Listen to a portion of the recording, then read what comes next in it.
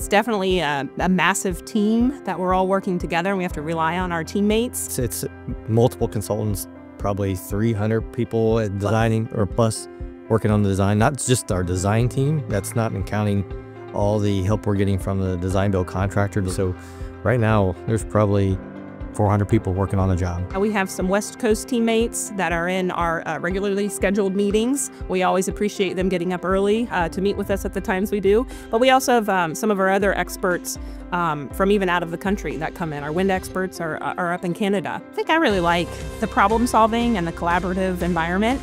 Um, I think it's it's such a privilege to work on this project with all of these experts that are coming in to, to build this project for you know my hometown. Yeah, very very much the same with myself. I mean, I grew up in a small town just northeast of here, so to be able to shape the downtown Cincinnati area and see what it's going to be like for a long, long time when we're done. This is a, a once in a lifetime type of job.